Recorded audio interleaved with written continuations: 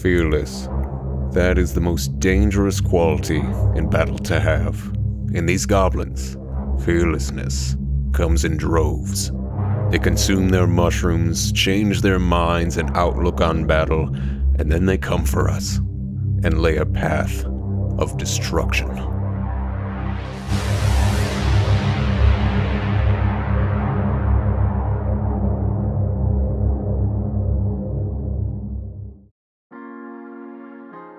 Hello, folks, and welcome to Dice Chatter. My name is Donnie, and today we are going to make some mushrooms, rocks, and a wacky minecart ride for those fun little goblins called the Gloomspite Gitz. If you are unfamiliar with these guys, they are featured in the tabletop wargame Age of Sigmar, and this video is a continuation of me attempting to build terrain for a number of Age of Sigmar armies. So if you folks have any ideas or builds, just let me know and I can see what I can do. So without further ado, let's head on over to the whiteboard. For these rampaging, high on their own supply goblins, I wanted to make something that was a little bit fantastical, and a little bit on the impossible. Well, at least in terms of minecart physics. I imagine these little dudes living deep in the earth somewhere, ingesting mushrooms and having fun riding some roller-type coaster carts. Maybe these were old dwarven minecarts that have been repurposed for pleasure, or maybe these goblins have a big interest in state fairs and want to experience the thrills and cinnamony elephant ears 24 7. Either way, this build will pull in ideas from other builds I've done and try out some new techniques as well. Get out of here, foam. It's not time for you yet. We need to decide what base to use today. Just like my last build, I decided to go with a peel and stick vinyl tile once again. It's cheap, easy to cut, and is generally sturdy enough for smaller terrain pieces, so it should work out great for what we are working on here today. I just like to make sure the sticky side is smooth and ready to use for whatever foam I decide to lay down in a later step. While that is set to dry, I had to really figure out the scale of this piece and how it would function on the tabletop, especially the mushroom caps. I wanted big ones, but nothing superimposing or overpowering in the build. There are a number of focal points I want the eye to be drawn to in this creation, but I don't want the mushrooms to be the main topic. Also, I have never made mushrooms before, so this entire process was entirely experimental, and I just went for it. I decided to start with the stalks of the mushrooms. I went around the house and found some old toilet paper and paper towel rolls, I went ahead and ripped them apart and soaked them in water for a moment. I didn't really know what this was going to accomplish and realized not much. I needed some adhesion to get things in a decent shape. I pulled out the Mod Podge once again and rolled up some cardboard joints.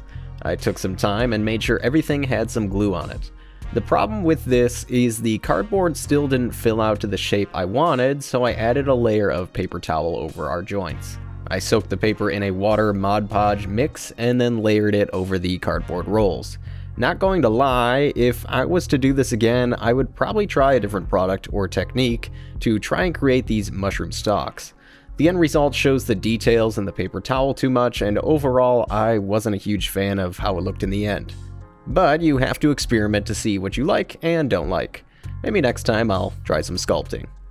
While our cardboard joints dry and seal up, we plan out how this minecart roller coaster is going to look. We play around for a moment and then start doing some rough outlines on the vinyl tile. Once we have a general plan laid out, we cut it out and start shaving away at some foam.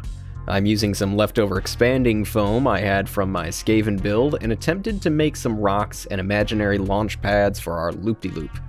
Now I won't go into detail on knife blades and foam cutting, I've done this in a series of other videos and I think you generally all know what to do. So after a long while of chipping, scraping, peeling, and cutting, I use some hot glue to adhere everything to the base and move on to the next step.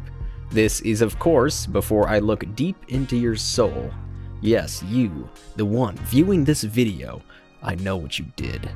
Anyways, here is the basic outline and plan set up on the table. I wanted to do a few different pieces so I could spread it out all around the table. Maybe use it in some Warcry.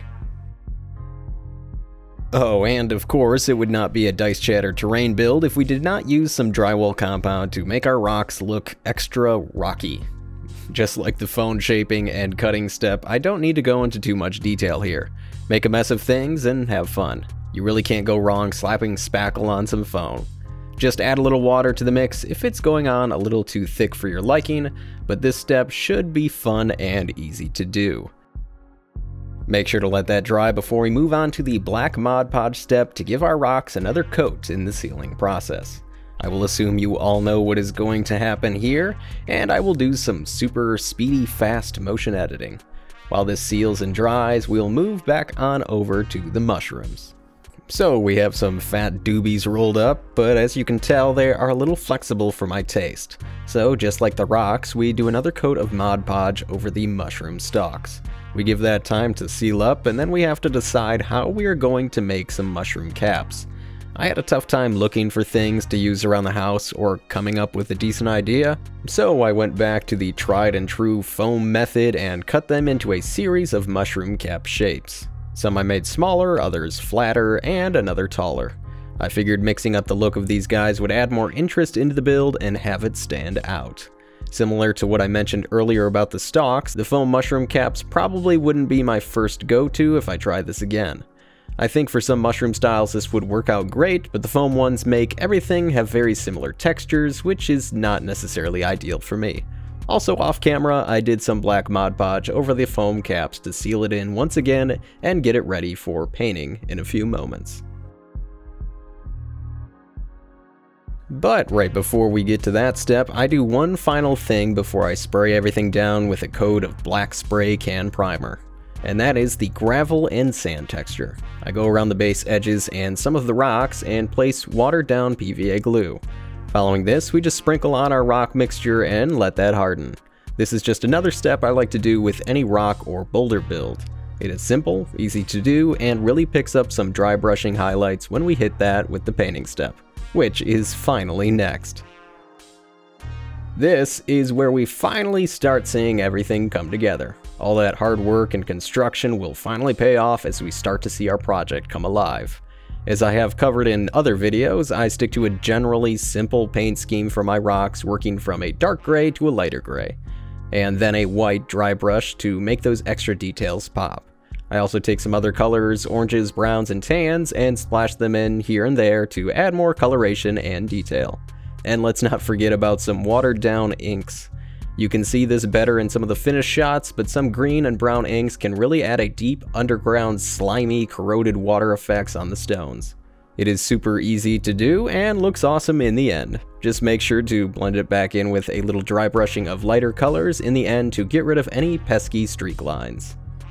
With the rocks complete and looking great, we move on to the mushrooms. The mushrooms, I feel this entire project, I had no idea what I was doing, so I just did the same when painting them. I messed around with colors, inks, dry brushing, mixing, also different painting techniques, and I had fun with them.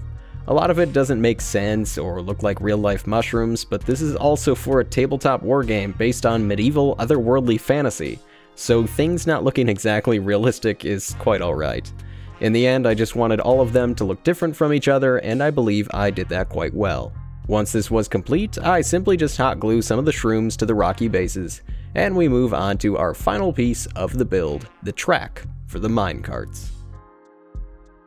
The first item I used for the track was some little wooden sticks that I went ahead and used as the rail ties. I took these wooden sticks and measured them up to the terrain pieces I wanted to lay some track down on and determined that I could just snap these little guys in half and have the perfect size. But I didn't want the rail ties to look like basic manufactured wood, so I had some brown wash I made a little while back and soaked the wood in the container for a few seconds. I also later went back and put some of the sticks in a black wash as well to add a bit more variety. This process was quick and honestly looked way better than I expected. The rails themselves, I used some EVA foam that was about 2mm thick and cut it into thin strips. I wanted to try something flexible so I could make nice big loop-de-loops and also something that would take paint primer as well. As I'm painting and assembling the rail lines, I will discuss a little bit of what I learned after using the product. EVA foam is fantastic and fits the bill for a number of builds and I can see myself making a number of buildings and terrain pieces using this material.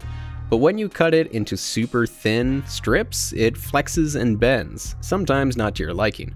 Unfortunately, I didn't really think of this, and once I started to make the rail loop and place the wooden rail ties down, it started to weigh down the foam and create an oddly shaped loop.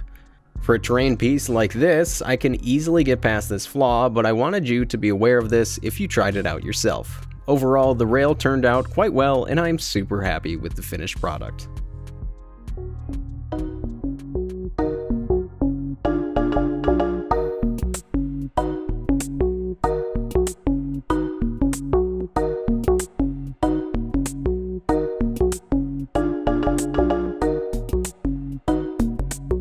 So, there you have it, folks. A little bit of Goblin Railway and Mushroom antics.